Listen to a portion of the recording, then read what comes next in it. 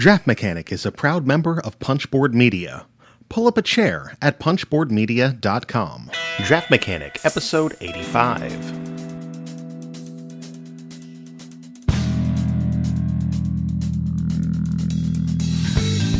On this episode of Draft Mechanic, we've got a Kickstarter preview of Homebrewers and discuss recent plays of Bandido and Istanbul the Dice Game. We've got a six pack review of Most Wanted, which we're also putting on tap. We talk about the GABF 2018 results, and we asked our Slack channel what player count surprises they had experienced. So sit back, relax, grab a pint, and enjoy the show. You've seen the future and it works a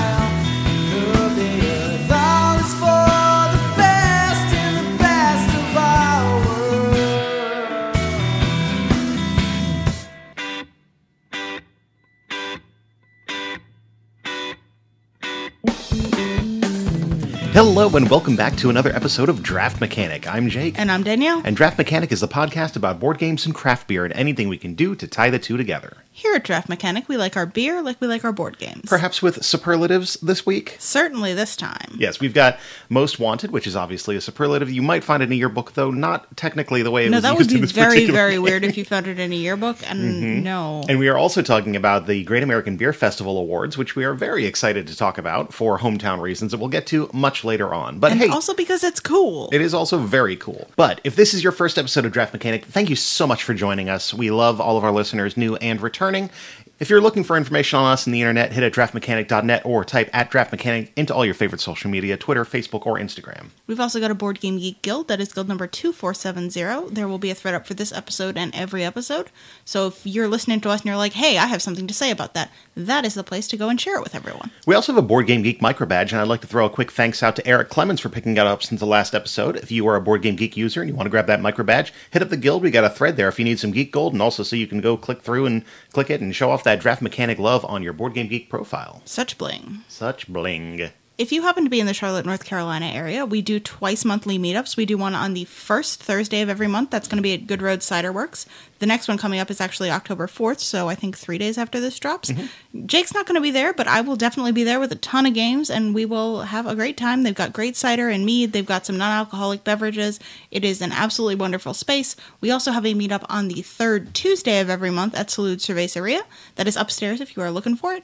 And uh, we love that space as well, but that one is not coming up till later in October, and I'll tell you about it on the next episode.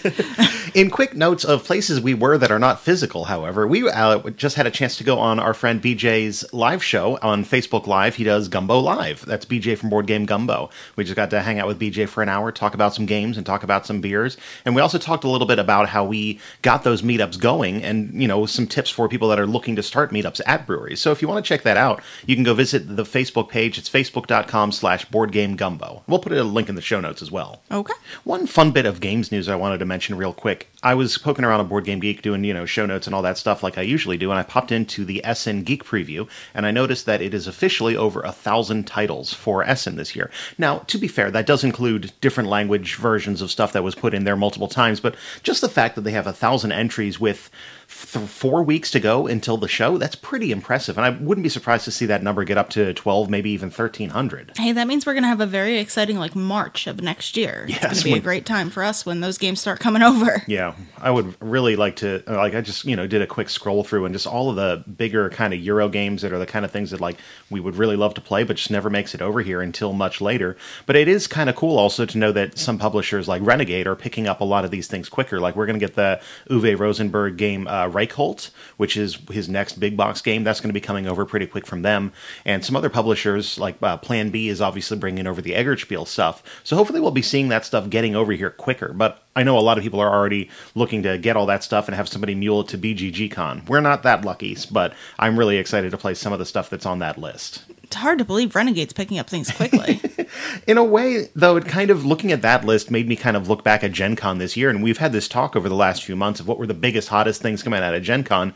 And for the most part, stuff that we're super excited about isn't coming out at Gen Con as much as it used to. It either comes out at Origins or it comes out a random time, and then a lot of this stuff is obviously Essence stuff that will arrive for us in the spring. And that's something I didn't really think about until this particular year.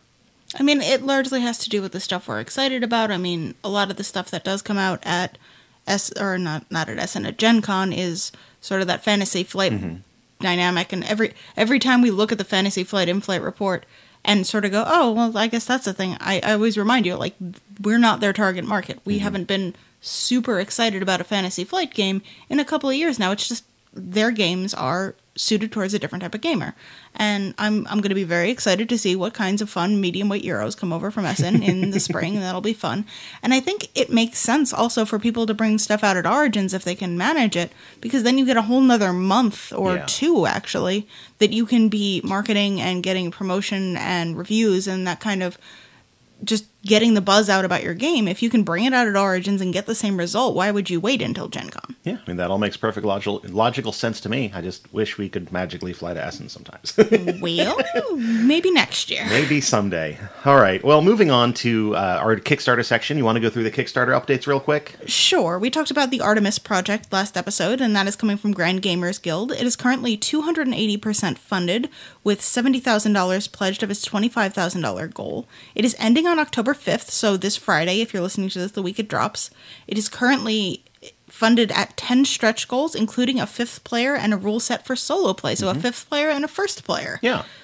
The second one I want to follow up on is the Jasper board gaming table from boardgametables.com that is 1400% funded, which is significantly more than the 280 even. Um, we have 990 backers and it is $700,000 of the $50,000 goal. This is ending on October 12th, so not the Friday after this episode drops, but the following Friday. And currently, the delivery estimate, if you jump on the Kickstarter campaign, is April of 2019. They had been so, sort of updating the delivery estimate as they got more and more pledges to account for the fact that they'd have to make more of these things. So if you started to back now, you would probably be getting it late spring, let's be honest, early summer of mm-hmm. next year. I was really surprised. The estimates chart that they had said up to I think about 1200 they expect to deliver in April. So it's, it sounds like they've learned a lot from doing the Duchess and the way that the timeline rolled out on that one. So I'm really hoping that they're able to keep up with that timeline this time around. Like we said in the last episode we've had a chance to play on the Duchess, which is their previous game table a good bit, and it's a pretty darn solid gaming table. Well, I mean, you'll get it when you get it. I mean, they can't send it if they haven't had it made, and it sounds like they have either a plan in place or some of them already going into production. I mm-hmm. wouldn't be surprised. But you don't hold hard and fast to these shipping dates. I know the last round of them were slightly delayed. I use the word slightly to be generous. well, hopefully they have learned from it so people can get their board gaming tables a little bit sooner. Let's talk about some new projects, though. Okay, first up, I've got Project L, and this is coming from Boardcubator, currently funding at 384% of its goal. That's 67k of $17,000. This ends on Thursday, October 18th, with an estimated delivery of October 2019. You can back this and get the base game for 41 bucks or the Master Edition for 57 bucks. Uh, this is in euros and translated, obviously, to dollars, so I can say the numbers with some confidence. The Master Edition kind of has more content in a fancy box. It's kind of like this two level pledge thing we're seeing a lot with Kickstarters these days. So, Project L is an abstract tile puzzle game where you are filling out polyomino shapes to get more pieces and fill in bigger puzzles. The production is definitely something that's going to be catching a lot of eyes on this one. It's very minimalist and clean design, but you have these um, these kind of card tiles that have insets for different polyomino shapes, and Yeah, you're going double layer Yeah. tiles. and you're going to be collecting these little acrylic pieces of polyominoes of one th- through five blocks and using those to fill in the shapes on that particular puzzle. And then once you finish that puzzle, you get a new piece depending on what card it is you're filling out, and you're using that to obviously generate more pieces, so on and so forth. There's also an interesting kind of mechanic where you can have up to four puzzles going at the same time for yourself, and you have the option to take this master action, which allows you to add a piece to every puzzle all at the same time if you have a piece that will fit every puzzle and they show it obviously you know using this to complete four puzzles at the same time and you feel great and there's explosions going off and so on and so forth but the production of the game looks really sharp and they definitely blinged it out i guess is what you want to say it's very I don't want you to say that. you You, don't want to say well that. what do you think what do you think No, I mean you're right. It is it is certainly well produced. It is not flashy. It is really clean looking. The tiles I think are dark top layer Mm-hmm. and light bottom layer, so they're very easy to see the shapes that you're making. The pieces aren't embellished in any way, they're just colored pieces that you're putting in. It looks really clean, but you can tell it's well done. Like I said, they're double layer player boards, Yeah. which is that both versions come with the double layer player boards? Yeah, apparently the master edition comes with like pieces that are five spaces instead Ah. of just up to four, and there's some additional like power tiles, and you get like this ghost mini expansion, and it's this is the other thing that I kind of wanted to talk about here is I kind of like getting really frustrated with these kind of the two level Kickstarter thing where they have you can have the game or you can have the game you actually want for you know they they get your foot in the door and be like yeah you totally want this game at uh, what 41 bucks I said but you could get the really good one for 57 Yeah, I mean, there's something to be said for allowing more people to get in on the Kickstarter if it's a really great game Mm-hmm. and the actual first level pledge is a good game. It's not just a good game with a bunch of stuff stripped out of it. Yeah. Then I think it's good to have a lower level pledge because not everybody can throw that $57 in there. Or maybe um, you go in on that $41 level pledge to make sure that you are in on the campaign Mm-hmm. and you look at it a little more and you get to the end of the campaign and you're like okay i have it in my budget i can throw that extra $16 on there which i mean if you've already pledged 41 16 doesn't sound like a ton but it, i mean it Mm-hmm. adds up that kind of thing especially if you're backing a bunch of projects so you can pick and choose what you'd like to get the more fancy version of, Mm-hmm. but still have given them the money towards reaching their pledge goal. Because I know a lot of times when we talk to friends of ours who run Kickstarters for various different companies, they have a lot of issue with people fluctuating in and out of pledging for their product.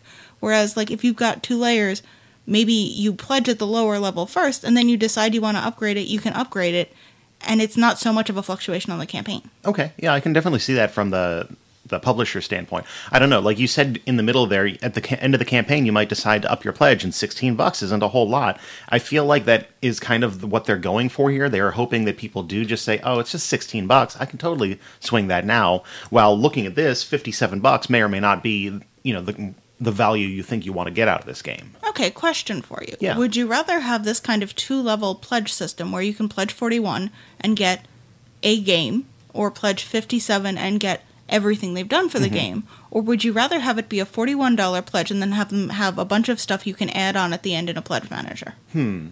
I, mean- absolutely hate pledge managers. Yeah, the, the pledge manager is a very similar thing where you just kind of like nickel and diming them after they get that pledge. And this is how CMON has operated for the last five years. You know, you can just go They're look not at. the only offender, but they are certainly one of the bigger they're ones. definitely the most egregious offender if you look at like Rising Sun and Zombicide and Arcadia Quest. I try not to. Yes, well, that's why they're on the back of the shelf. But no, like like we were saying, I don't think that I would prefer one more than the other. I honestly kind of wonder if I would prefer to have, or if I prefer this, or if I prefer uh, a game and then an expansion in a year for twenty bucks. Like if this game was forty bucks and then had a fifteen to twenty dollar expansion to add in the more stuff, would that feel different? Yeah, but think about the shipping that they'd have to deal with. Oh yeah, shipping. Like, you have to ship a second product at that point. right.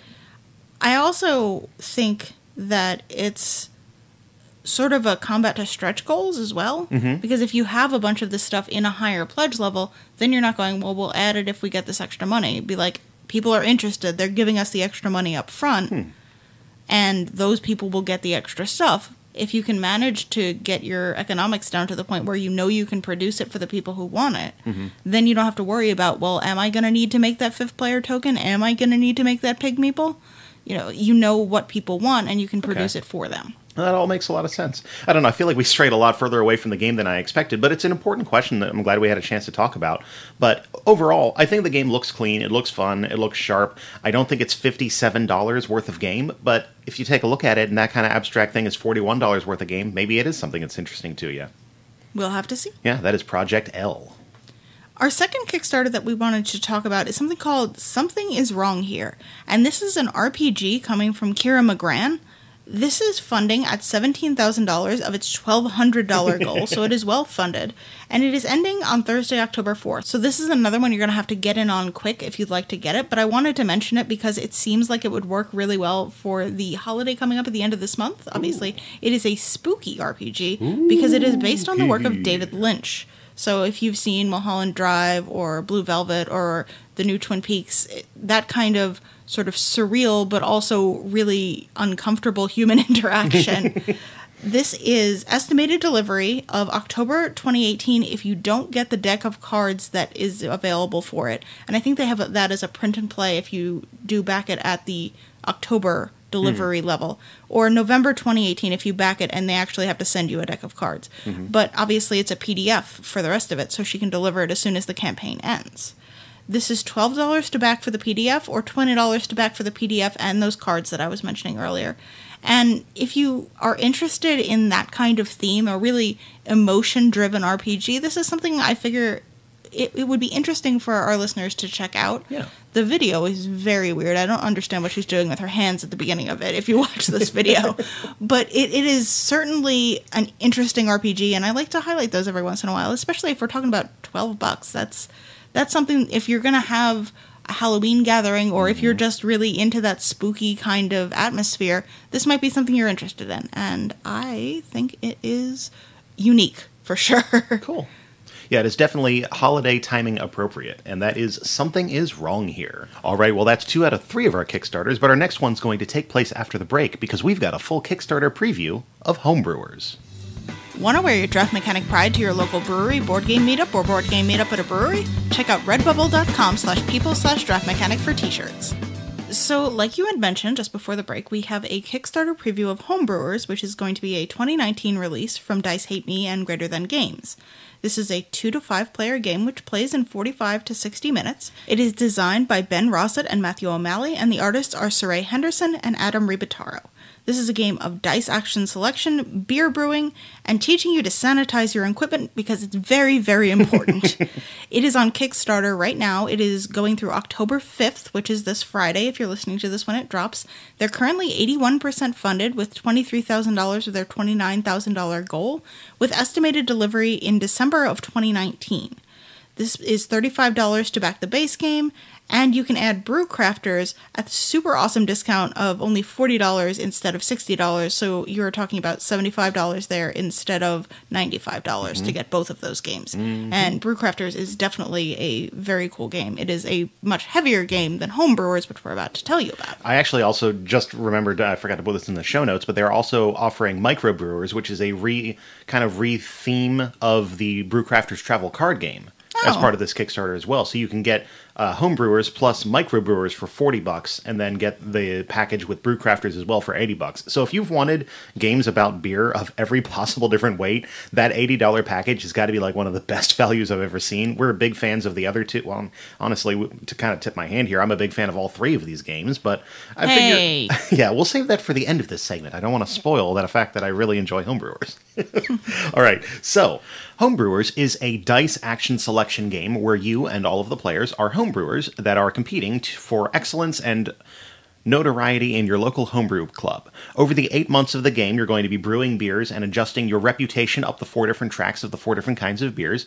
And twice during the year, halfway and then at the end of these eight months, you're going to be going to competitions. You have a Summerfest and an Oktoberfest, in which you will be earning points depending on your placement on each of those four different beer type reputation tracks. And then also at Oktoberfest, you're going to earn additional points based on some judges that have been visible for the entire game that are going to judge your different beers based on what kind of ingredients they have in them.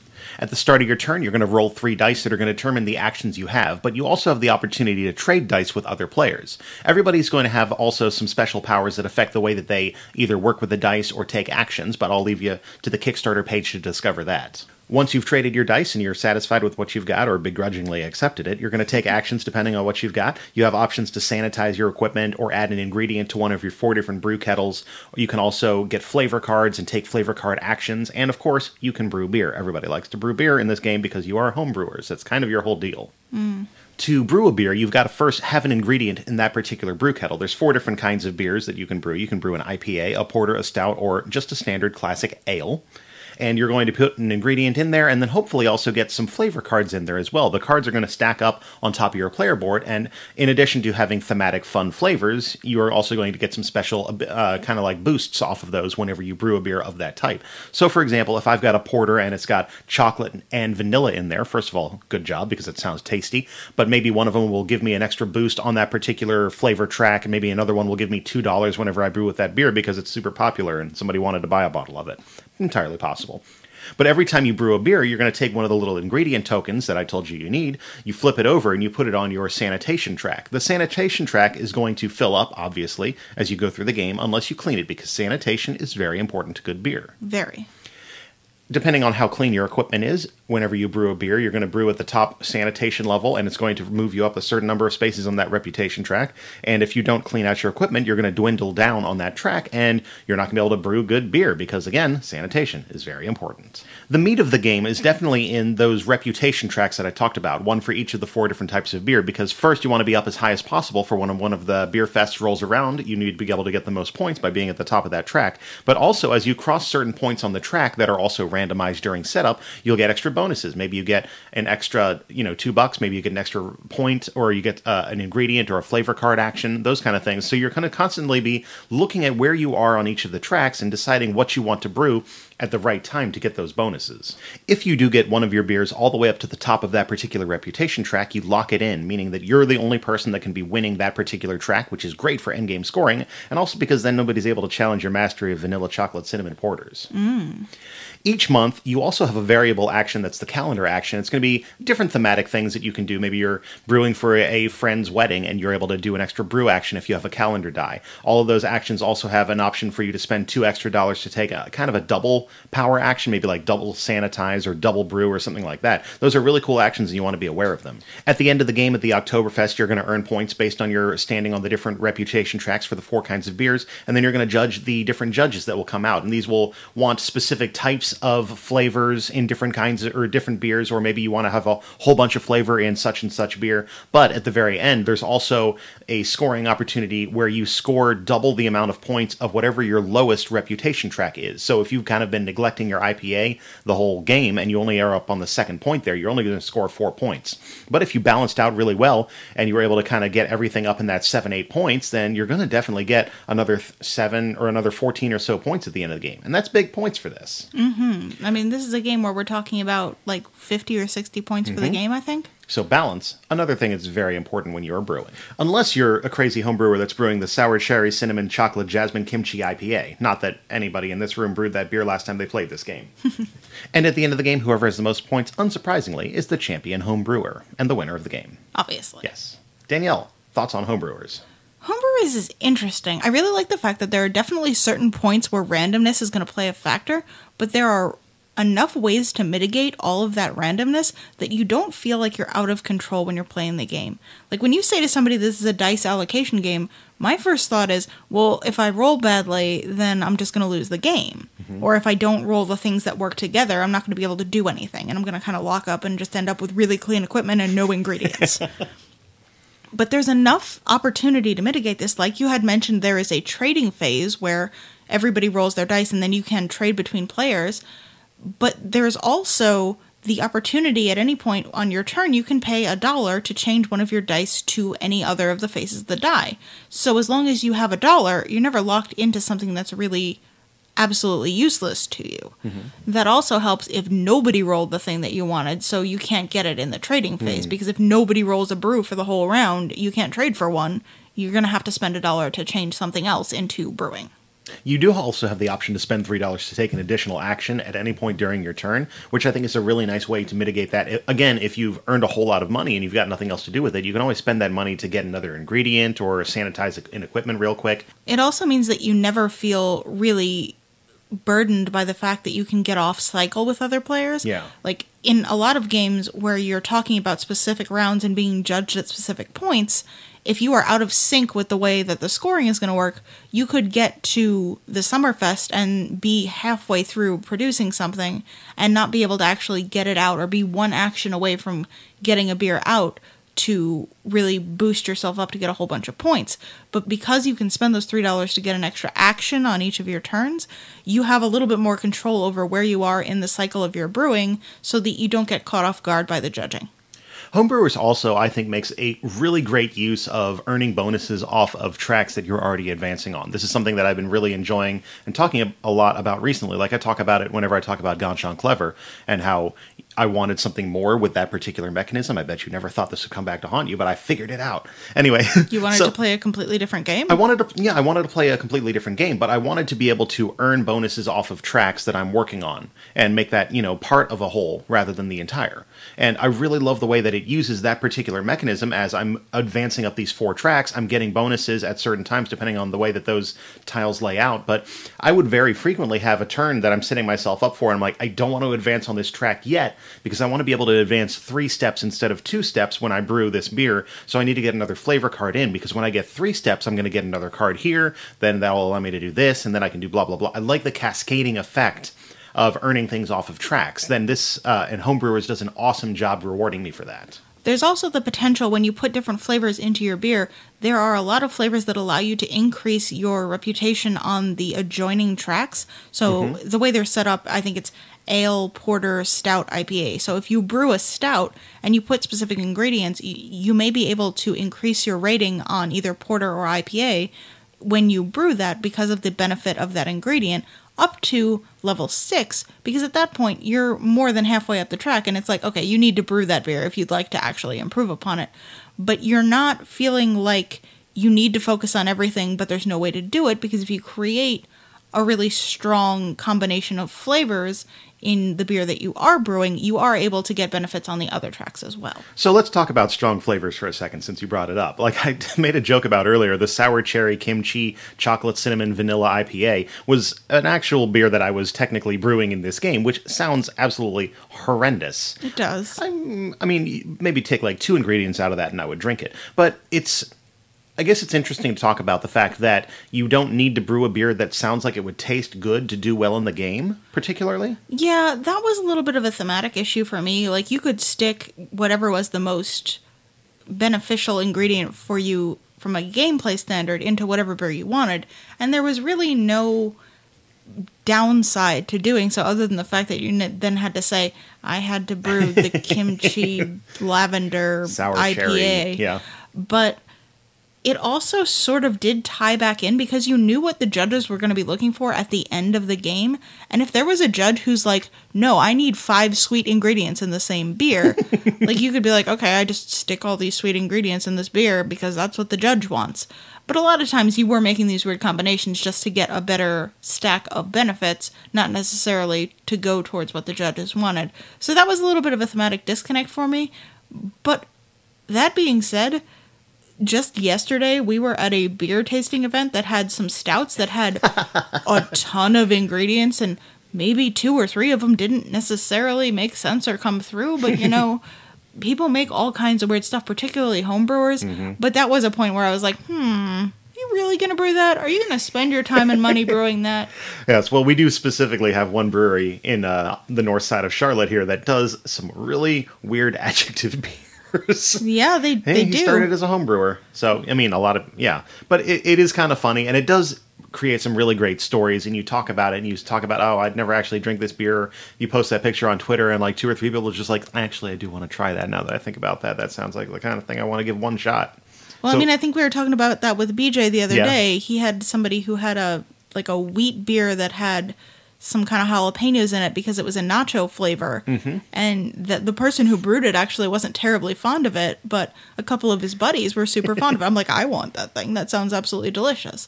And I think from a thematic standpoint, it makes more sense to be able to do that in a homebrewer game Yeah. than if they had tried to make that an expansion to something like Brew Crafters, where you're making like these crazy beers in a production facility where that's not necessarily ever going to happen. Like people who need to make money off of this are probably going to make things that actually taste good.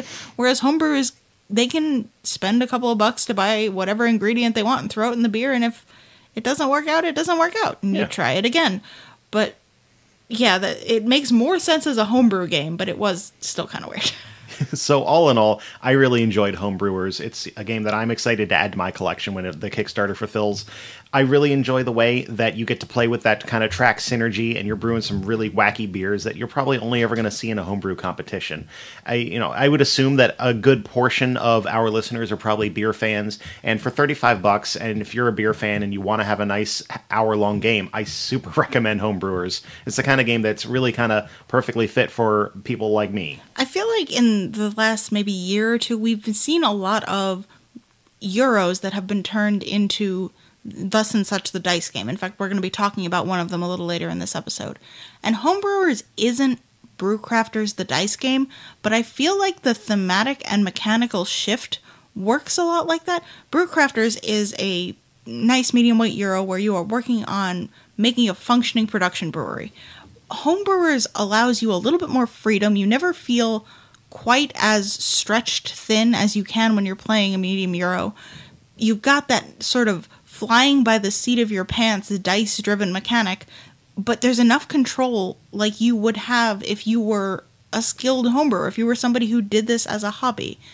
I like the way that this game takes the theme and gives it a much more suitable mechanic for the dice based version of a Dice Hate Me beer game. They've got a whole bunch of them at this point, and I think if they were gonna make a dice based game that wasn't, you know, super light like a lot of some of these dice games can be, they've done it very well.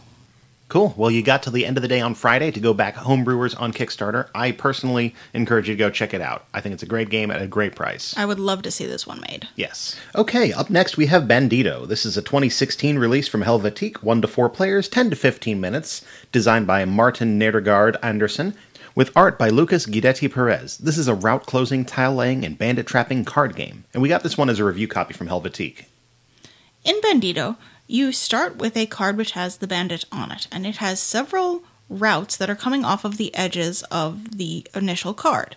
Each player is going to start with three additional route cards that they're going to draw into their hand, and they're going to take turns placing one of the route cards from their hand attached to the open trails which are starting on the bandit card. The bandit has either five or six trails from his initial card, depending on whether you're playing easy or normal mode.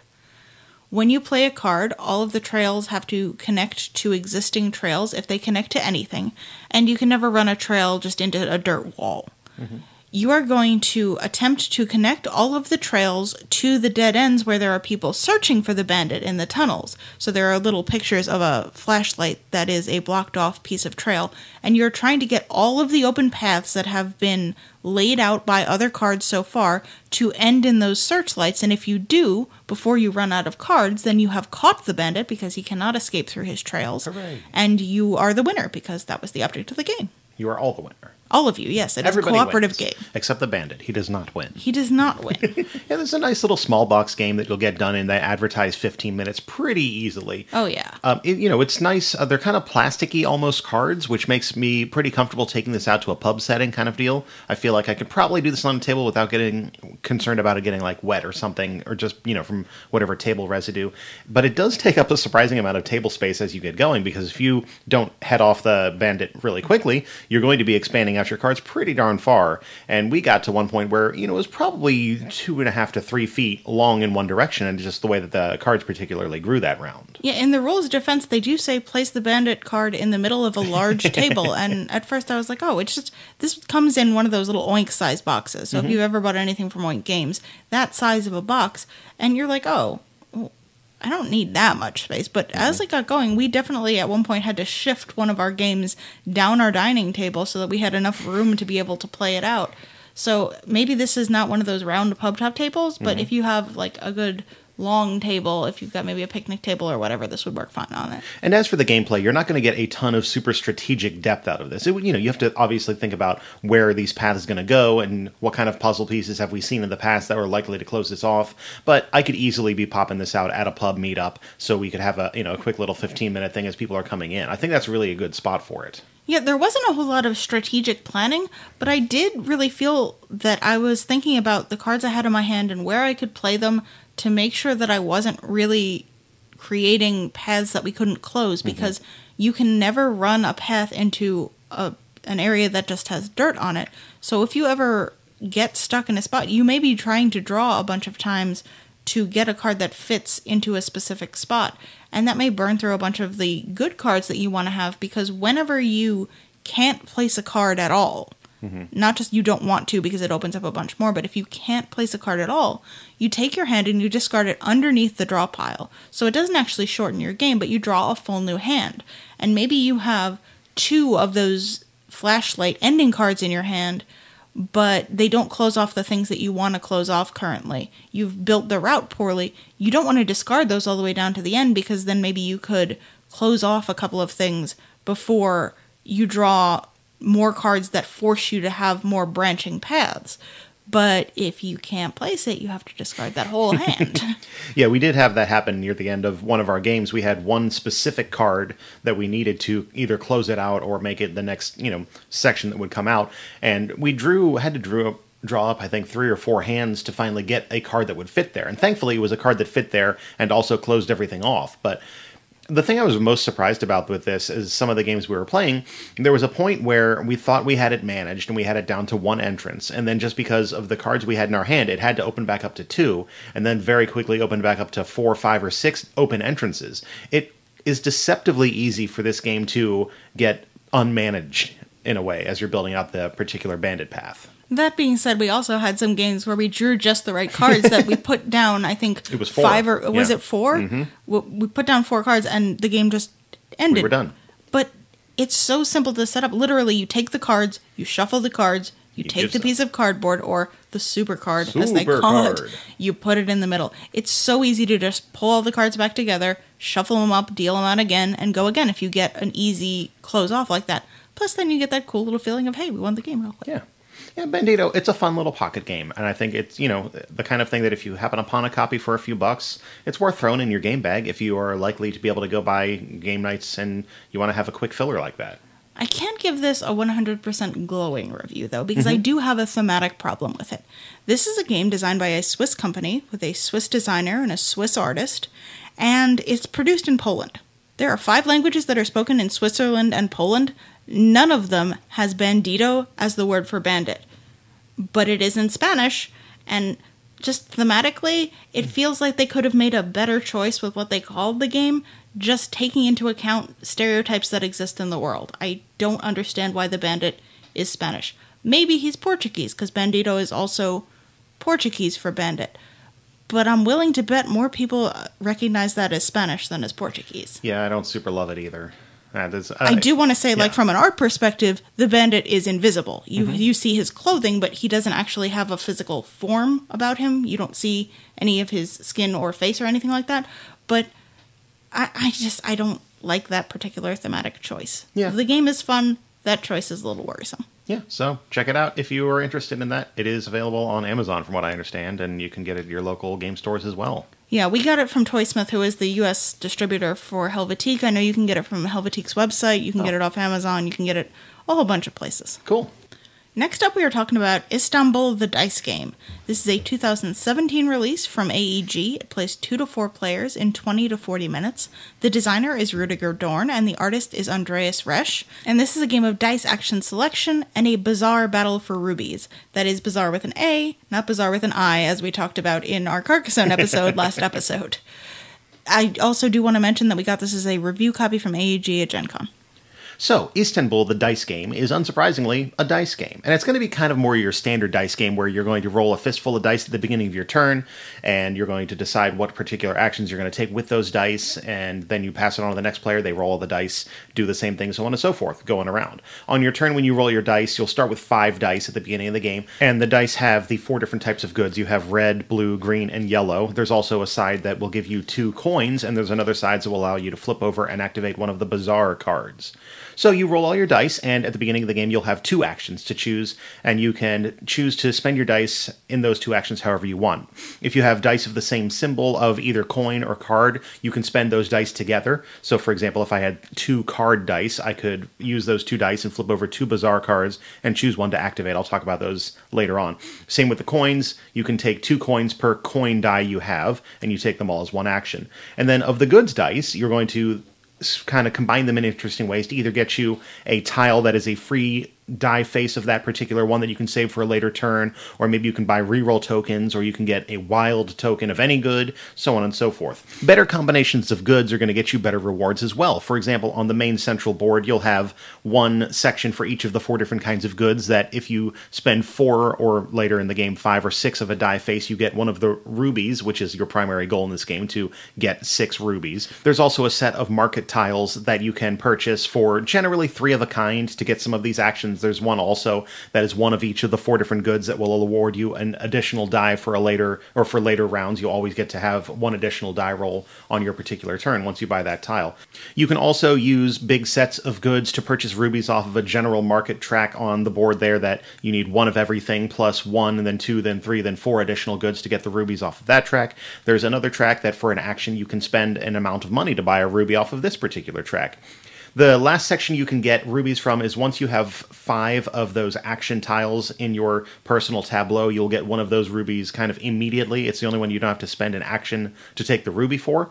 And pretty much you're going to continue going around until somebody hits six rubies, and then you're going to finish out that round. And whoever has the most rubies at the end of the game will win. If you tie, then it goes to money, and you sell your tiles and your reroll tokens for money as well. You'll notice I didn't talk a whole lot about it, any kind of like thematic kind of feel in this game, and that's really because the theme isn't super necessary in Istanbul the Dice game. Sure, there's goods, and they have, you know, this one has a picture of rice, or this one has a picture of fabrics, so on and so forth. But if you removed all of that from this, the game would still function perfectly fine. And frankly, I'm fine with that. Mechanically, I felt it very satisfying. It's very much a the dice game kind of thing where you roll a bunch of dice on your turns and you use them in interesting combinations to either build an engine or get endgame points. And that's kind of what a lot of dice games do.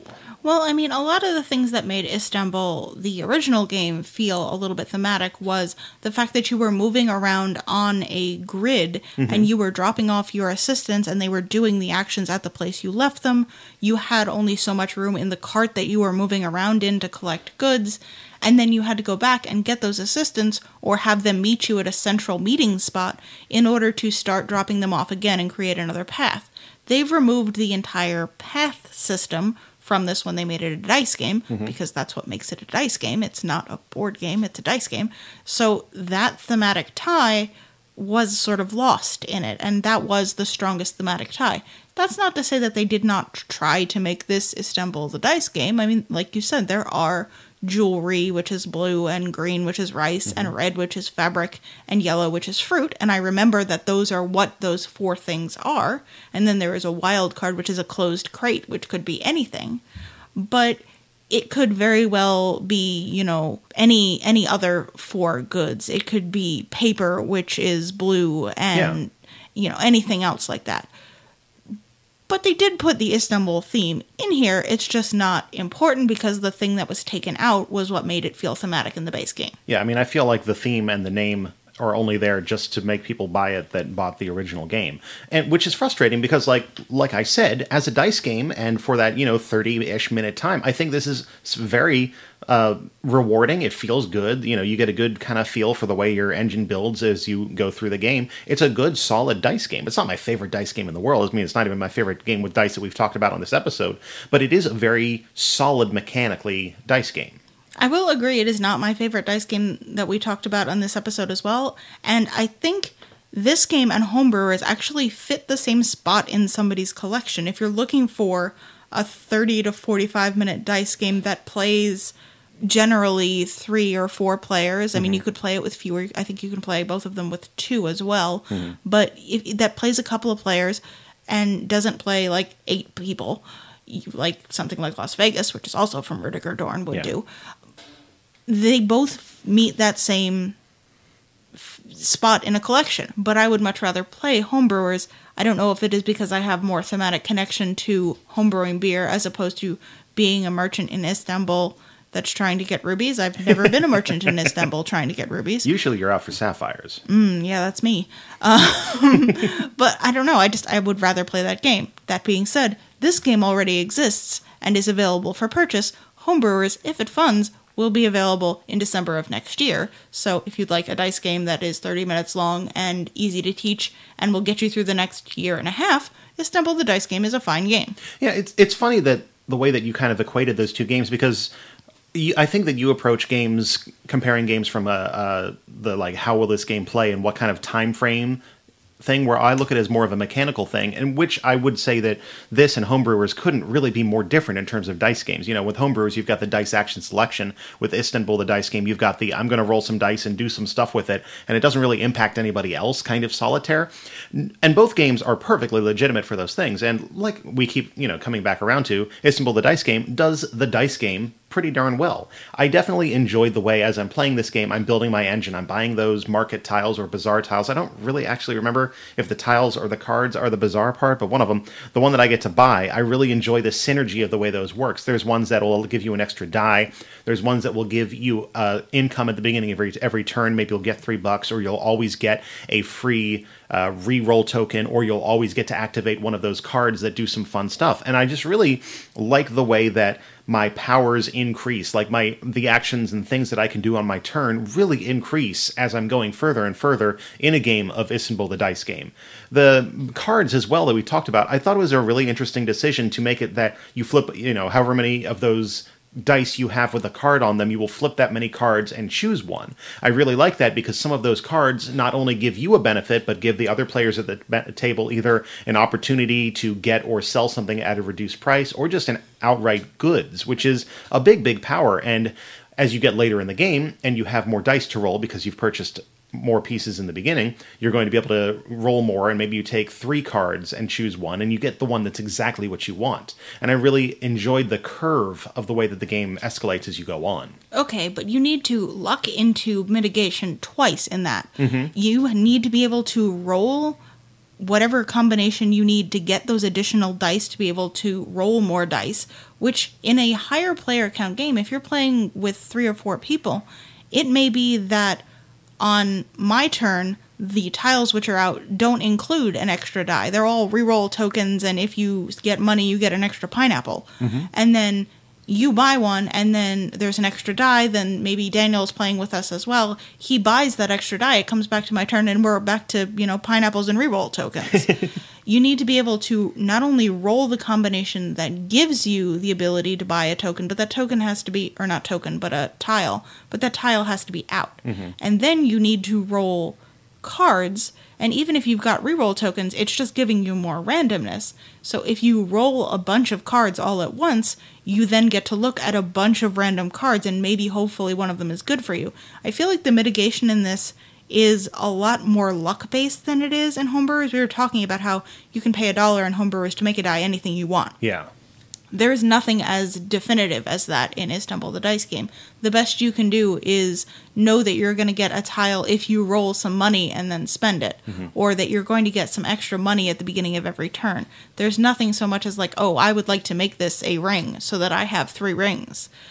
And that did feel a little bit just like, oh, well, I hope I get it. I'm glad that you brought that up because I really did enjoy it when it worked, but I definitely know that there were times in some of our games, and this game it to a, to a six pack just because it was so quick and easy to play. We got five plays of this in in you know in a few days here. True. But there was a number of times in all of those games where I'm looking at the tile rack of the six different tiles there. I'm just like, I don't really want any of these things. I hope somebody else buys it. Or you're looking at it, and four of them need three yellows. So if I'm not stocking up on powers that get me either additional yellow tokens or get me yellow when I uh, you know, use some coin dice or something like that, it's very easy for you to get to a point where that particular part of the board is very stagnant until somebody else gets it moving. I'm a little frustrated that there's no particular way to flush that out. I dug through the rule book. It's not a very it's like a four page rule book, and there's nothing in there that I saw anywhere that would allow say like, oh, spend four dollars to clear the entire row. Something like that would have been nice because it, again, it's an opportunity to use the other things you've been collecting to mitigate some of that luck. That is likely why you get that ruby for buying five of those tokens right away without having to spend anything mm-hmm. on it to encourage people to buy a bunch of those tokens and keep that row from stagnating. But again, it is very much up to what you roll and what combinations work best for you. That row may sit without moving for a couple of rounds. Hmm. From a downtime perspective, I think that this game is easy to teach because of the way it works, but can be a little bit wearisome to play because when you roll your dice, unless you flip a card, you essentially are not doing anything else on anybody else's turn. Yeah. If they flip a card and you get a good, they can be like, "Oh, everybody take a rice," and then you take a rice and you're done. But other than that, if I take my turn, then you take your turn, then Daniel takes his turn. After my turn is done, I can tune out for five minutes. That's Yeah. fine. because of that, it is easy to teach because you can say, okay, roll these dice. Here's what you can do with the combinations you have. Here's how it goes to the player aid sheet. I will say the player aid sheet is very good. Yeah, it's a nice little It- sheet. you gave me the player aid sheet and went, what do you think you do with this? And then I went down the thing. I was like, oh, you do this and that makes this, and you do this and that makes that. It, it is a very easy game to teach. And that is probably one of its greatest benefits. Like, I could see pulling this out because with the number of rule books we read and the number of games that we try to teach to people, this is one that I'm always going to be able to be like, pull it off the shelf. I can teach this to you in five minutes. I'm not going to forget some weird rule that comes out. Like, I'm going to be able to teach this. It's easy. You roll the dice. Here's what you do. Now the next player can go around. But after I've played it a couple of times, there is definitely some downtime. Yeah. Specifically with higher player counts. I would say two or three for this game. Yeah, I can't I can't recommend it at four just because you're you're doing nothing for a while. And again, you're not changing anything in terms of the tile setup, so that stagnancy of tile, or just the fact that tiles you want are going to be gone so much quicker when it comes back around to you. Uh, the one thing that does change in player count is the number of rubies that are out on the board. You get more rubies, obviously, the higher the player p- count is, and you have more spaces on the board. When you go to four players, it flips over to the back. But I mean, that's just that's minor scaling. But yeah, we played this at two and three players, and it was a quick 20, 25 minutes every time, and that might be a good spot for it. This game is it like we have games that I have games that I really really enjoy and I have games that I don't like at all. But in the middle there there's this collection of games that like I'm okay, I'm glad I have this. I could see myself bringing this to game nights because it is easy to teach and it's fun to play, you know, and it plays quickly enough. This is kind of fitting in that space of just like I don't love it, but I'm fine with it kind of game. Yeah, this is a game I would throw in a game night bag, but I'm not sure I'd pull off my shelf if we were having a game night at home with our normal group group of gamers who plays games all the time and who can handle something a little bit more complicated. Mm-hmm. But for game night, it's great. It's great if you've got new gamers. It's it's a fine game, and actually, I like it better than Istanbul, but that's just a personal preference issue. Yeah, I think that if you want a dice game in your collection as well, and you want a dice game that plays quickly, and you do get that kind of light engine building and kind of light goods management, this is a good choice. It's the goodest choice. It's probably 10 or 15 other games, but if this one particularly appeals to you, Istanbul the Dice Game might be the one that you want. Cool. cool. All right, time for a break. We're going to come back with the big feature. We've got Most Wanted.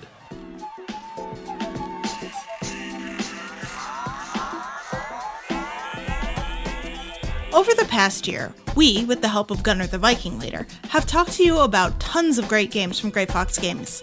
From expansions to Champions of Midgard and Deception Murder in Hong Kong, to new releases like Harvest Dice, Bushido, Rising 5, Multi Universum, and Pocket Mars, and even a new reloaded edition of Run Fight or Die. Grey Fox Games has been bringing you fantastic experiences to share with your friends and family. We look forward to another year of sharing what Grey Fox Games is up to with you, including the upcoming City of Gears and Reavers of Midgard, and tons more. Check it out for yourself and sign up for their newsletter at greyfoxgames.com. Grey Fox Games, quality games, cleverly crafted.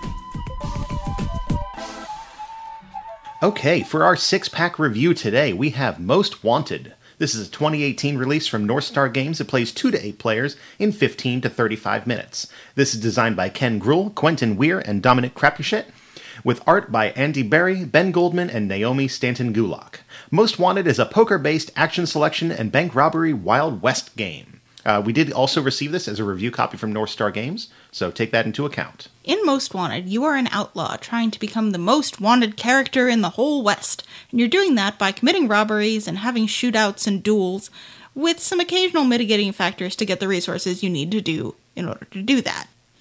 At the beginning of the game, each character is going to receive a hand of cards, which is going to be like a standard deck of cards, except that it starts at six and goes through ace. You don't have any of your twos through fives in the deck. And it is a double deck of those particular numbers. So there's a whole bunch of sixes and, you know, etc. going on up. On your turn, you are going to go to one of the locations which is on the board.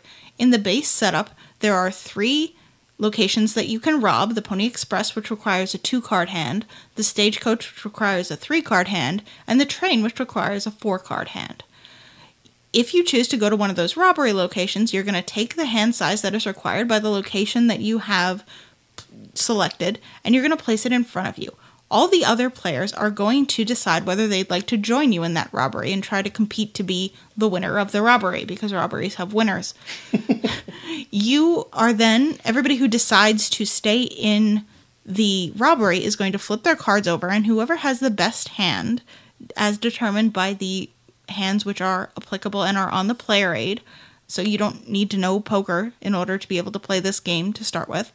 Whoever has the best hand is going to win the points for that robbery, and they're going to move their character up on a central board which indicates how wanted each character is by the law, not just in general.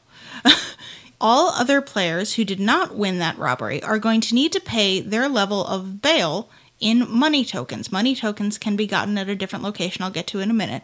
But as you get closer to the most wanted position, the end of that track, your bail amount is going to go up. So if you are the loser of a robbery in the first hand, you're probably starting off of the board and you, there's no penalty. But if you are just maybe one or two steps away from winning, you're going to have to pay three money, otherwise, you're going to move back down that track farther away from winning the game. Now, I mentioned money tokens, and in the base game, the way you would do that is by doing honest labor. You would discard a set of suited cards and then you would get money. There are also some locations which allow you to draw additional cards above your normal five card hand because at the end of your turn, you're always going to draw back up to five cards so that you have cards in order to make different hands on other people's turns if you'd like to go in on their actions. But some of the actions you can take allow you to draw above five cards. There is a church, which allows you to draw up to seven cards, and there are some other locations which allow you to discard cards and then draw up to eight later in the game. This allows you to have a little bit more flexibility, but if you discard some of those cards, say you go to a two card hand after that, you wouldn't be able to draw more cards up. Each player is going to take their turn selecting a location, and everybody else is going to have options to go in on their action unless it is one of the resource actions. So, like if, if Jake goes to the church, I don't get to go on, in on that. But if he goes on a robbery or he challenges me to a duel, I would be playing on his turn. Whoever manages to accrue the most points and get all the way up that most wanted track is going to be the most wanted outlaw in the entire Old West, and they will win the game because that's how you win. When I was talking with Bruce with North Star Games about this at Gen Con, we were just kind of talking about the games that they had. The quote that he kind of came back to again with Most Wanted was with Most Wanted, they wanted to do for poker what King of Tokyo did for Yahtzee. Take the, that base mechanic of you're going to, you know, make a card hand and do some kind of, you know, dominance and cards thing, and then add this.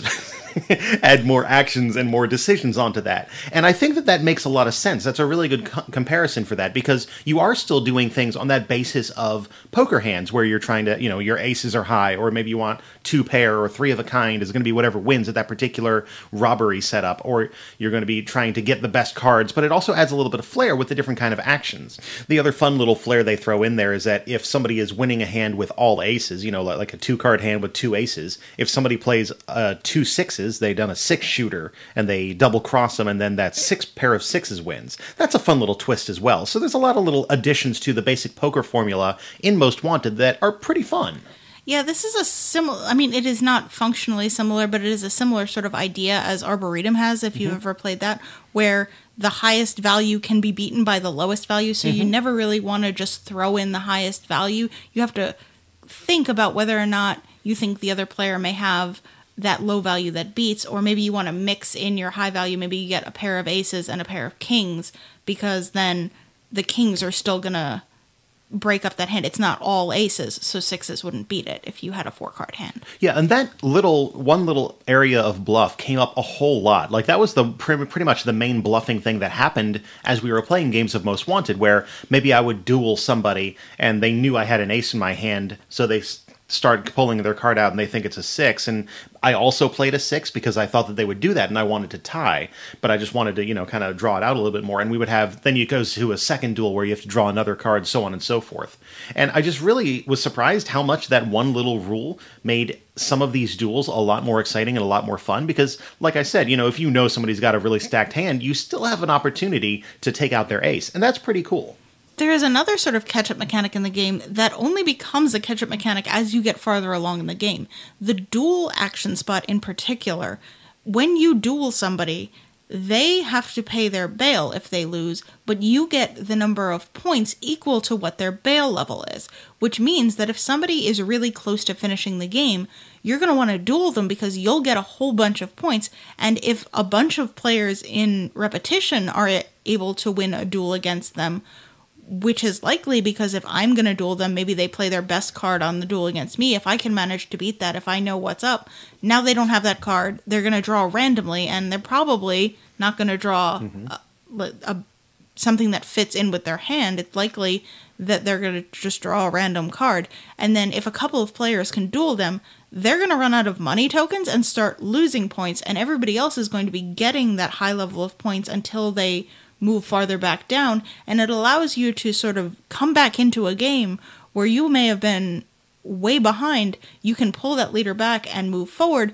but it only works to the point where everybody's equal. You're never going to be able to like absolutely destroy somebody's game because once you get them farther back down the track, now you're not getting as many points from dueling them. And eventually they're going to draw something that's really useful and start to be able to win duels again. Another thing that makes the duel action a really good catch up mechanic is that if you're targeted by the duel, you're required to participate in it. With other robbery cards, the stagecoach, you know, the bank, and so on and so forth, you are you have the option whether or not you're going to participate in somebody else's robbery. So you can take your kind of call your shots and like, you know what, I've got a really good three of a kind. I'm going to go in on that stagecoach and I can probably win that. Well, with a duel, it's really like you said, an opportunity to get that person who's way ahead and get some of those good cards out of their hand so that other players are able to catch up. It becomes really putting a target on their back, which is kind of what you expected in a game about being most wanted.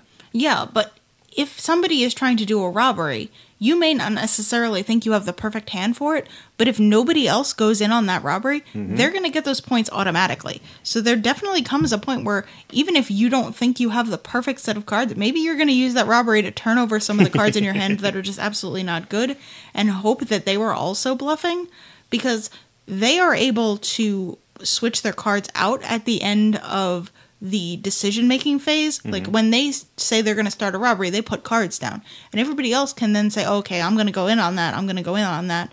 And maybe you get back to the beginning and that first player is like, oh, I had a bunch of junk in my hand. And they, they can trade out their cards if they want. But if they were just bluffing, hoping that nobody else went in on their train robbery, thinking nobody else had a four card combination that was going to be good, they're going to lose whatever they put down and they're going to have to pay their bail money and you may be able to get a whole bunch of points but you got to make sure that somebody's in there challenging them One thing I will say about that, you know, we say you have the opportunity if you are the one leading the robbery to change your cards out, but I don't think I ever actually saw that happen. Maybe more than once in the, you know, however many nine and seven games we've played of this. i've seen it at least once where somebody was trying to ditch a bunch of not great cards that did not work in their certain combination like they had just gone to the church and drawn up a bunch of cards and Yeah. they were just trying to discard some of those bad cards to just clear their hand out because you have to use the I mean you're going to use the card somewhere mm-hmm. probably. And then when it came back around to them they're like, "Oh, I actually do have something better, but I was trying to keep those to get in on a future robbery because then I'd still have my good combination of mm-hmm. cards." And then they switched it out because they had enough cards. Yeah, I'd like to see more encouragement to bluff. I think, like, if there was more of a re- reward for pulling off a, a successful bluff, that would be a nice little touch. Just to double back around real quick to talk about the production of this game because I really like the art. There are two styles of art in this game. There is the art for the characters, which are the standees and the box art and you know anything that is on your player board for your personal character, but there's also a different set of art that is on the cards because the cards have face cards like any deck of mm-hmm. cards would. And the suits in the deck of cards have different themes to them, and they've got really fun, whimsical artwork on all those face cards. So your jacks and your queens and your kings are all really neat looking, and particularly the green king is the one I'm thinking of. Just Yeah. has a fun, like it's it's this old dude, and it, it is it is a very fun artwork, and I appreciate that both of the art styles go together well. They're both very cartoony, but they are certainly distinct from each other. I feel like my explanation of the art in this game is kind of like a joyfully whimsical view of the old west. It's very colorful. It's so so colorful. And everything kind of has that you know piece of paper tacked onto a wooden board kind of look to it. And then those face cards like you said have that just super great uh, look and color especially those face cards. So luxurious and colorful. It's so much fun. And the And the game itself, you know, all the characters have cardboard standees, which are very nice because you move them up the track. And when you have a higher player count game, you've got this kind of like mob of outlaws walking up your table, and it just looks really funny. They do a very good job with the action cards as well. They're kind of oversized tarot cards. They're pretty clear once you understand the symbology of the game. And the the bags of money are just simple punchboard tokens, which is nice. And the game also comes with a pretty nice insert as well to f- store pretty much everything in there. You know, it's got an indent for all of the character standees, for all of your cards, for all of your uh, money tokens, so on and so forth. Some of the characters are kind of interesting, sort of puns as well. Mm-hmm. For instance, there is a a sister, uh, a nun. Yeah. Who is nun Chuck? Sister Chuck, yeah. She she has nunchucks, and I, I think that's fun. There's a couple of other characters that have similar puns to that, Mm-hmm. and they really had a fun time creating this little rendition of the old west that you are playing in. Nobody's dying of dysentery here. We're all just making fun little word jokes. Yeah. So I want to kind of tell a story about the first game of this we played to kind of explain the way that my thinking of this game has evolved over time. This first game we played, we played with I think five, and it was good. You know, we were going pretty well. I think one or two people kind of got out in the lead, and I somehow made an opportunity that I kind of just made this good comeback. And the game came down to I think I was dueling you, and we had a you know the the two the one card duel, and I think we both flipped up an ace. And then I just kind of like, all right, let's have some fun with this. So I started just shuffling my cards at random. I, of course, knew that I had three queens or three kings and a, like a seven or something like that in my hand, and you didn't really know. Um, you had to flip up. You flipped up a queen, and I just kind of randomly drew one of my cards, and it was a king, and it felt really cool. Like it felt like the fun that you want from a Wild West style game. And I just really enjoyed that moment. And by the end of that game, it was only maybe 20 or minutes. We went from, oh, this is kind of like poker, but I don't get to do any of the cool things, to, whoa, that was a really fun, wild moment that just happened. So much so that, you know, I was starting to put it back in the box I'm looking at the insert and I'm looking at, you know, looking at the rule book, kind of flipping through just because I want to get more of the flavor of it. And at the very back of the rule book, at the bottom, there's a little comment about how uh, there are stories told of greater treasures to be found out west, because this game particularly takes place in St. Louis, the gateway to the west, and the whole Wild West movement from there on, there, you know, so on and so forth. So I kind of looking at it, and I'm flipping the box over and kind of looking around, and I hear something, and my time stories instincts kick in, and I take the insert out of the box, and underneath the insert is an entire additional book and more action cards. So, if you have had a copy of Most Wanted on your shelf and you've played it a few times, have only played the base game, I'm sorry I've spoiled this for you, but this is so freaking awesome that there is more content underneath the box. So, surprise, we've got even more to this review to talk about now. the base game that you get on the top part of this box is just sort of like the basic game. I feel like the expansion content adds so much. Yeah, so if you don't want to be spoiled by what's awaiting you underneath the box, you can skip ahead five, ten minutes, but it's not the biggest spoiler in the world. And frankly, listening to this stuff might encourage you to play this game even more. And that's kind of what I want to do here because, oh boy, did I really enjoy the additional stuff in Most Wanted. Oh yeah. So in the book that comes underneath, it's a travel guide, and what its legend or you know the legend is is that this particular travel guide is going to lead you to untold riches as you go further and further west. And it's actually split up into two different sections. There's the Las Vegas trip, and then there's also a Santa Fe trip, and each of these give you different card setups for the different action cards. And the Las Vegas trip is the short one. It's the original St. Louis setup, and then there's two additional cities of Denver and Las Vegas, and then the Santa Fe trail that's one that's a little bit longer actually has I think four additional stops after St. Louis. You have Independence, Missouri, Dodge City, Santa Fe, and Tombstone because you can't do a Wild West thing without doing some Wyatt Earp stuff, right? But all of these are going to bring in these additional new exciting action cards that will either replace or become additions to the actions that you already had. For example, uh, you might have a bank robbery, which is going to be a five card hand, and it'll teach you how to use full poker hands. The back of the book here actually has all poker rankings, all the way from your high card up to your full house, your four of a kind, and your straight flush, becoming things that you are actually using. Can't you also get a five of a kind in this game? You can also get a five of a kind. You have the double deck, so it makes sense, kind of. And like the five of a kind is the most Western trope thing that I can think of, just because it's such a ridiculous thing to ever have in a hand of cards. That'll get you shot. Yes, the ace of shovels. Uh, so you also have some other things like the church uh, is replaced by pay respects, where you can discard a straight or you play a straight of two or more cards face up, and everybody can challenge, say, I've got a better straight in my hand, and whoever actually has the best straight is going to be able to draw up to nine cards. There's a few other ones where you're going to use the bags of money in new interesting ways. There's a general store that you can flip over some cards and then buy the cards for one coin each. There's a push your luck mechanic where you can start flipping cards, and if you hit a spade card, you bust, you take one card into hand, and if you didn't bust and you stopped taking cards, then you get two, I think one or two coins per card that you flipped up. But there's all these additional action cards that work together in really interesting ways as you go across these trails. And the trails teach you to how to kind of work them in as you go.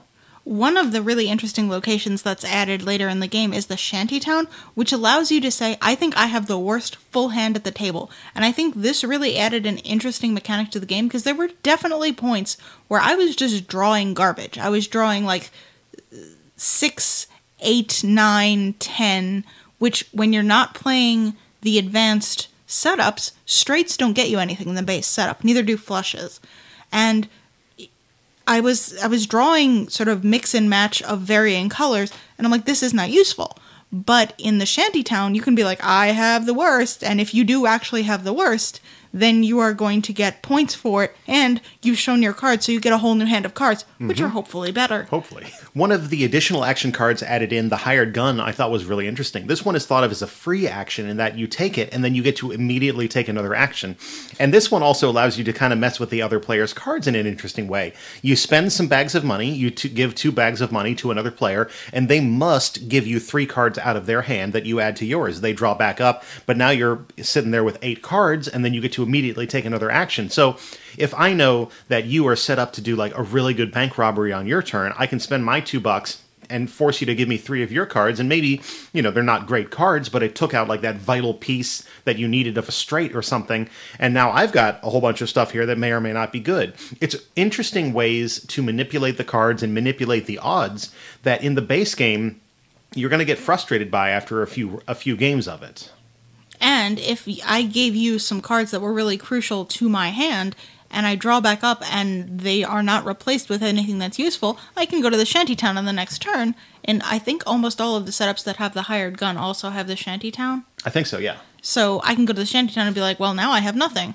And I still have options, even though you took my cards. And you're probably set up to do a pretty good robbery because you've got so many cards, you've got to have something in your hand.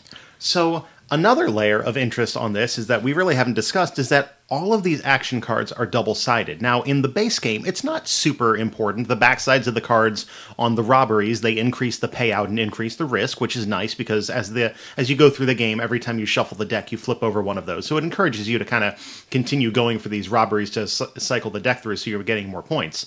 But the base cards also have backsides that are kind of like nighttime versions in a way. Like the honest labor card you talked about becomes dishonest labor, and this is all stuff you know in the base. In the additional content in this game, you have a bunch of new things, and some of them are, you know, different on the front and the back in interesting ways.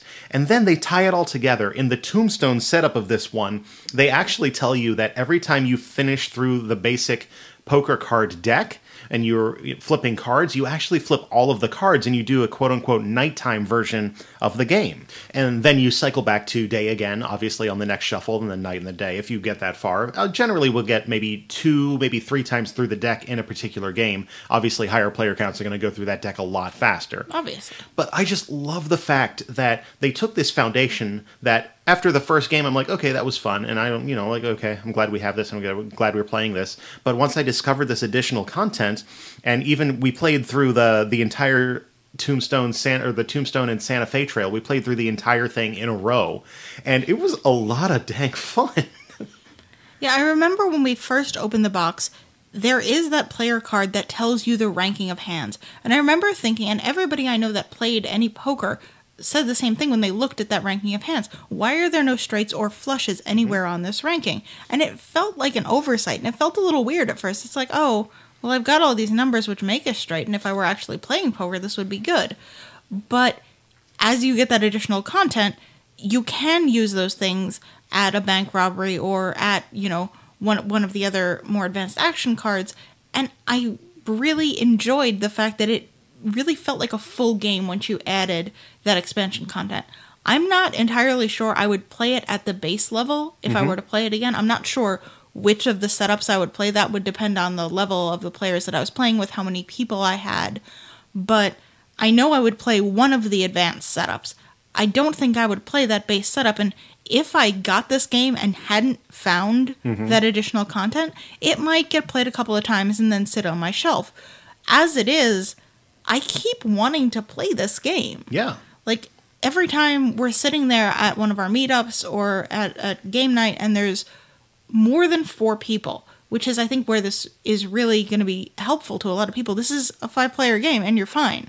Like i you ask what i want to play i'm like ah, let's pull out most wanted again. Let's Yeah. let's get that going. And it's a fun time I feel also that if you are working in this expansion content and you're working through one of the routes, it's going to be a really easy game to steamroll into playing more games as well because each game is going to take you 20 minutes or so.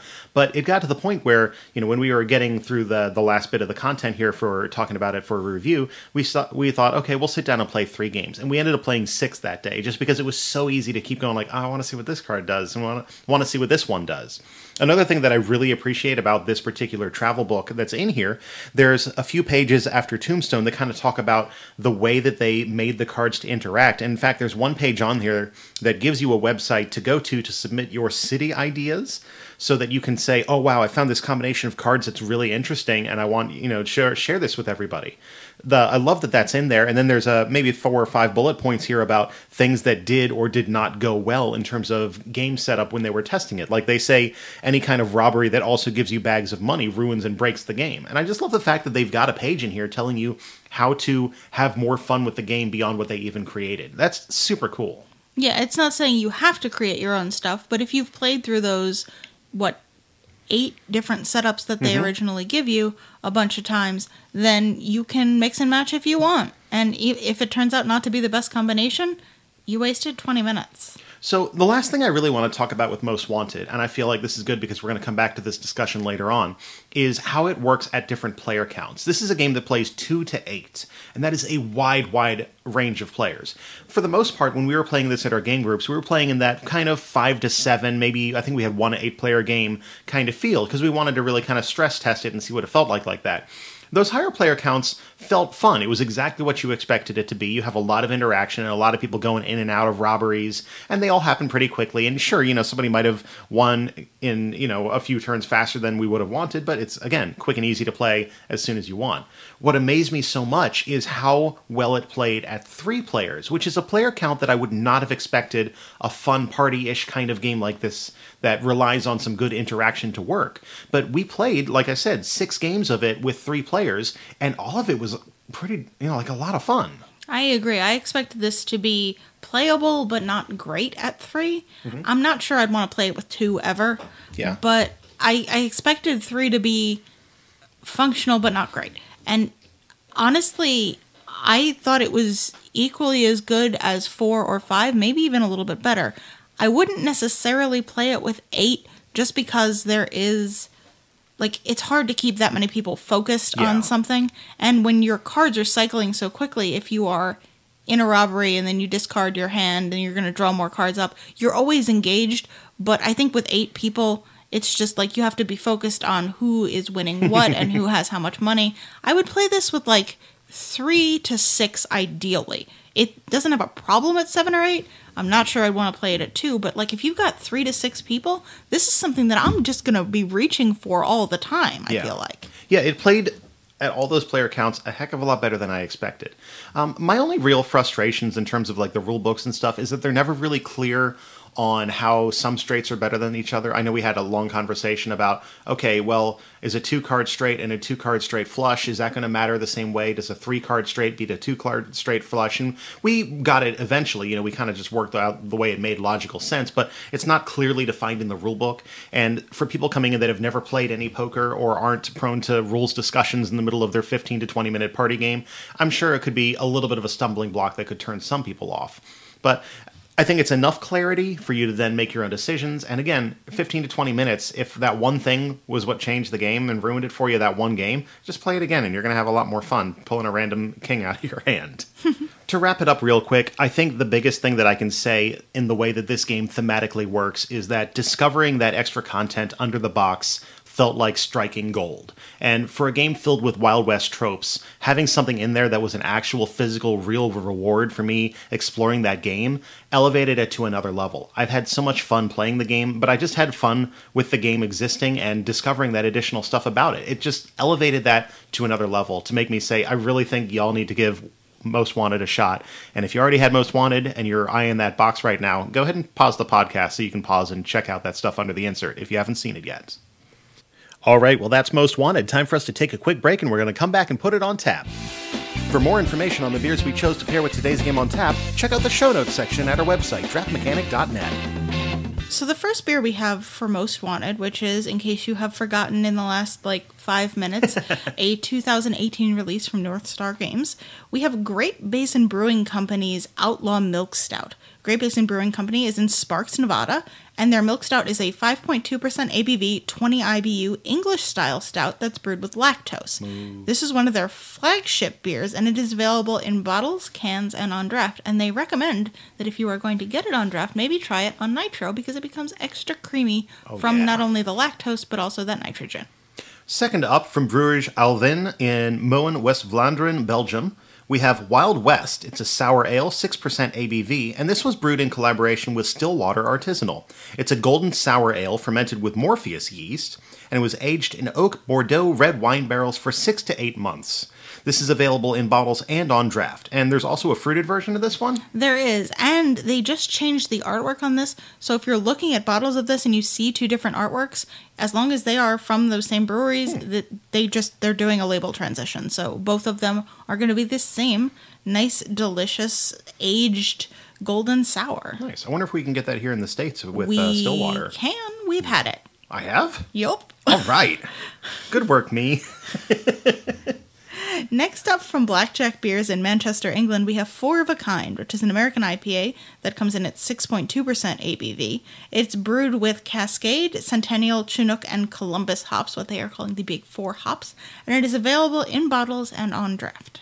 Right up the street from us, Lone Rider Brewing Company in Raleigh, North Carolina has Shotgun Betty. It's a Hefeweizen at 5.8% ABV with 12 IBU. It's a wheat beer with rich banana clove nose and refreshing dry finish. This is available year round on draft and in cans. This is one of kind of like the standard North Carolina beers that I've known since I moved down here, and it's just, I'm glad we finally got a chance to use it. We don't really do a whole lot of Western themed games. The tie in is that there is a character who is named Betty, and she does have a shotgun. There is also a Pistol Pete character in this mm-hmm. game.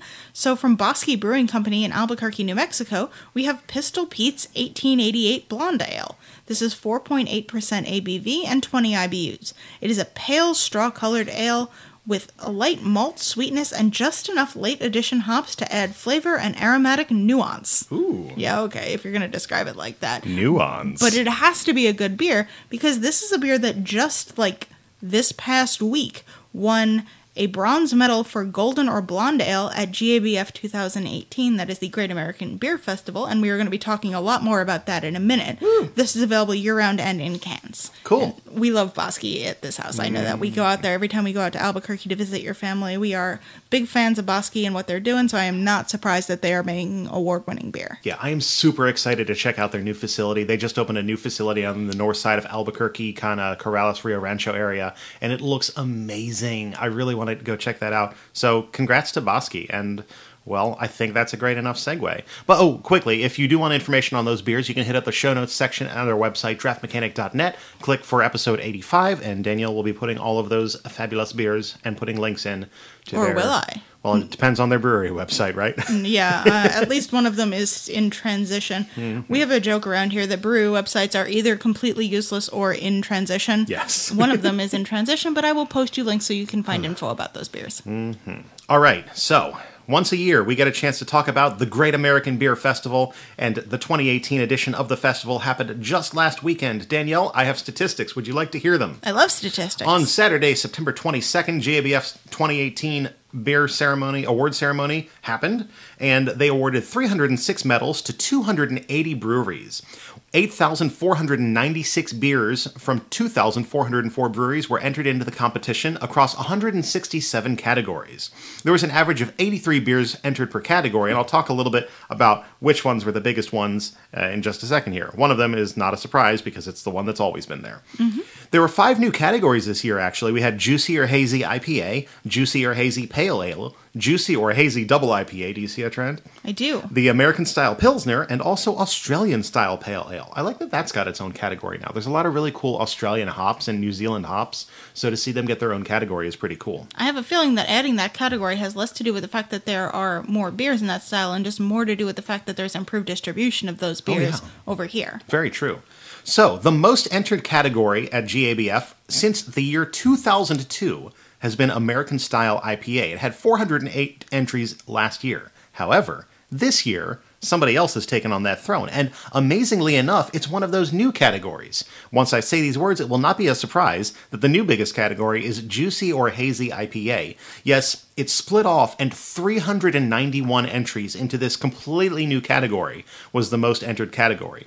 Your classic American style IPA had 311 entries, so a drop of 100 from last year. But I mean, if you combine these two things, that's 700 beers entered in just IPA and juicy IPA category versus the 408 last year. One thing I do want to point out, they call it juicy or hazy IPA. If you ever heard us describe anything as a New England IPA, mm-hmm. that's going to fit right into this category. Yeah. And then after that, we had the American Style IPA second. Our third was Wood and Barrel Aged Strong Stout, 177 entries, 170 people for American Style Pale Ale, and 162 for Wood and Barrel Aged Strong Beer. Interesting there also is that the uh, double IPA category is nowhere in the top five, which it used to be one of the top five in the past. I'm super excited for North Carolina right now, the state in which we reside. They brought home 13 medals this year, which is pretty darn good. It's definitely, you know, a higher representation we've had in previous years.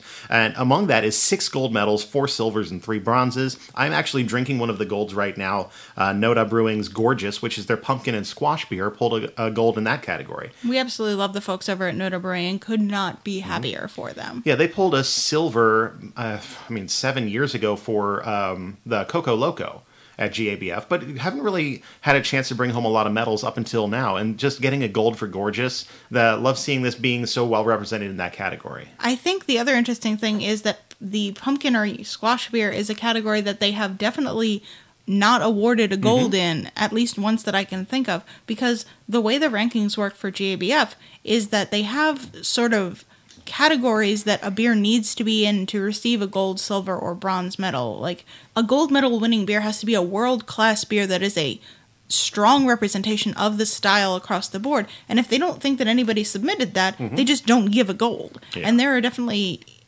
almost every other year I can think of, there's been a category that has missed a medal. Mm-hmm. And to have them win gold in this category, that is at least once the category that didn't get a gold that I can think of, is pretty cool.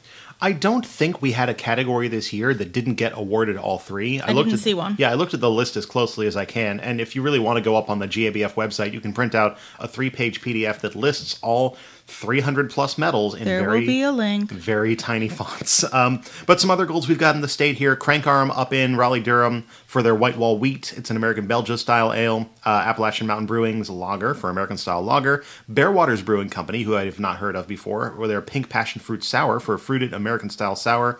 Wooden Robot here in Charlotte.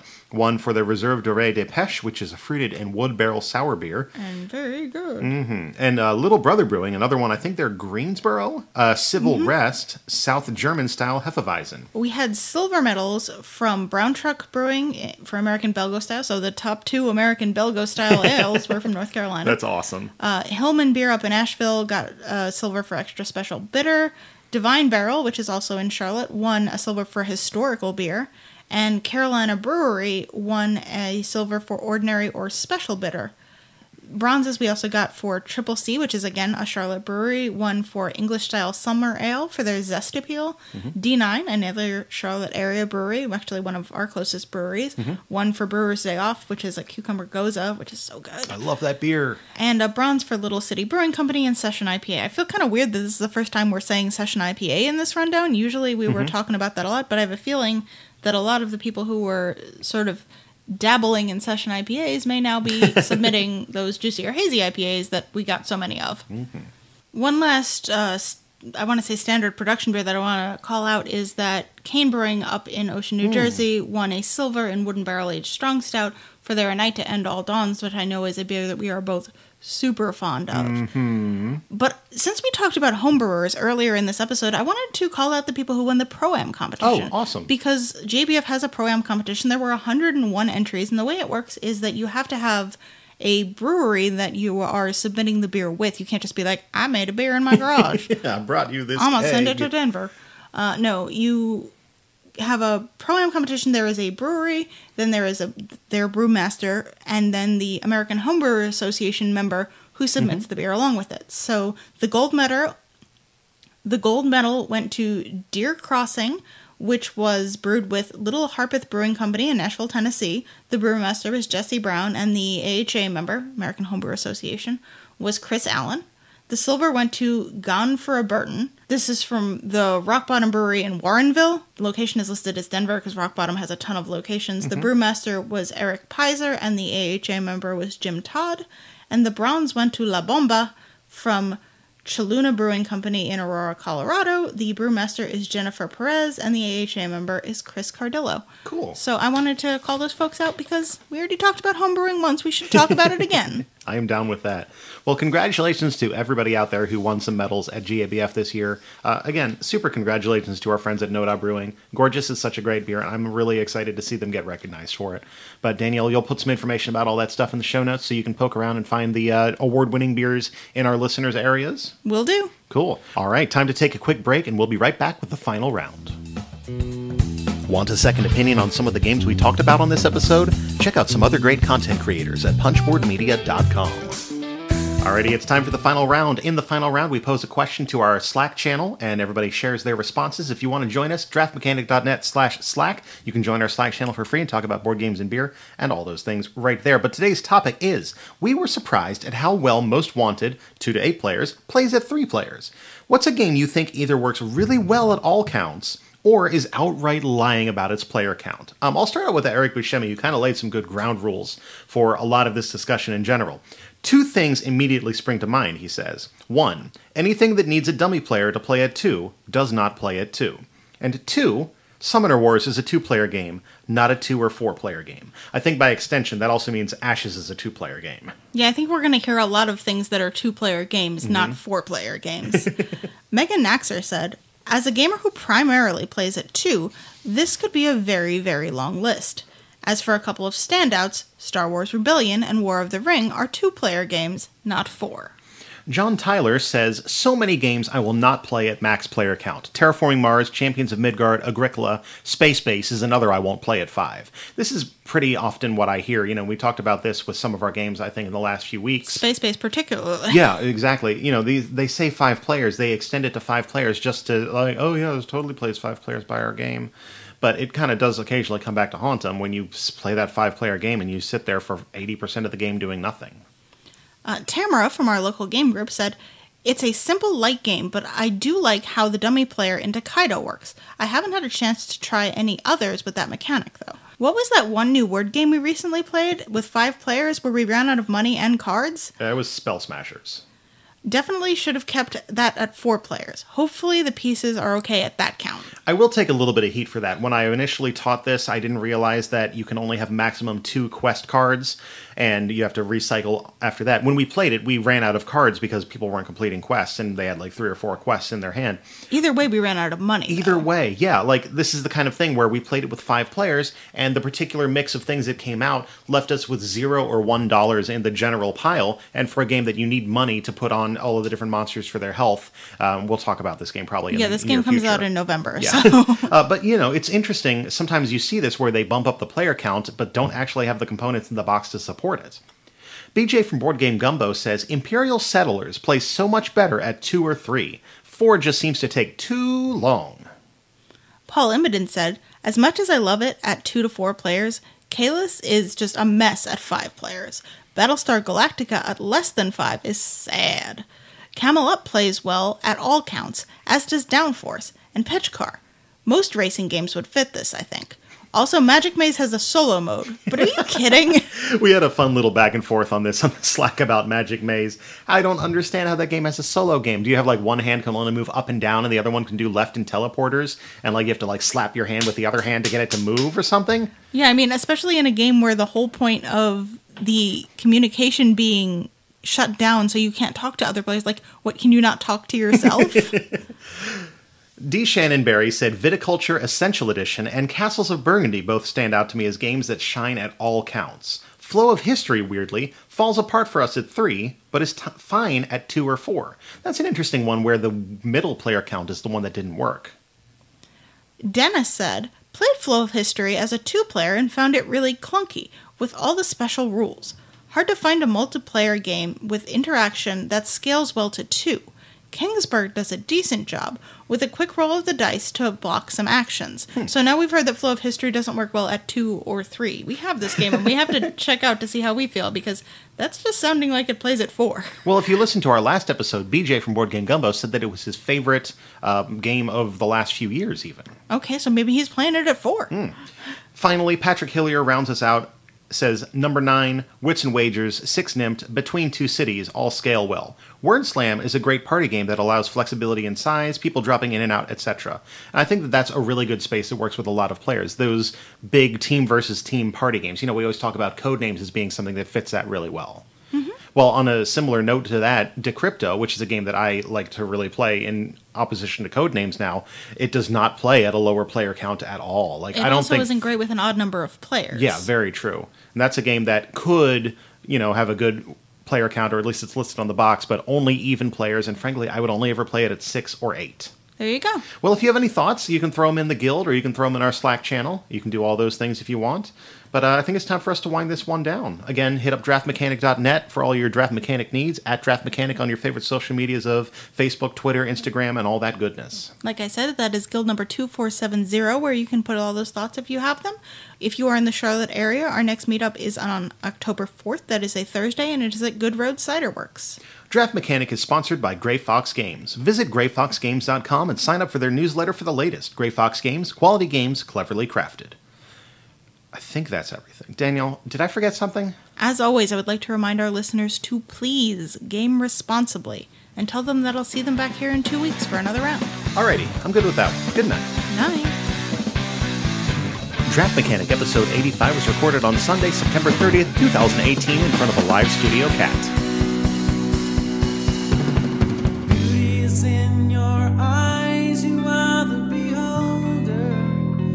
Render me stricken. Do not go gently into that line. Hey, board gamers, BJ from Board Game Gumbo here, back with more Louisiana flavor. Tornado Chien. We love talking board games.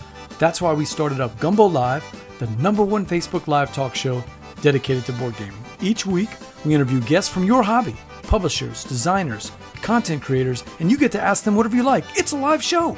So join us at Board Game Gumbo on Facebook every Tuesday night at 8:30 p.m. Central for another episode of Gumbo Live. And until next time, laissez les bon temps rouler. Punchboard Media, where we all bring something to the table. Pull up a chair. at punchboardmedia.com.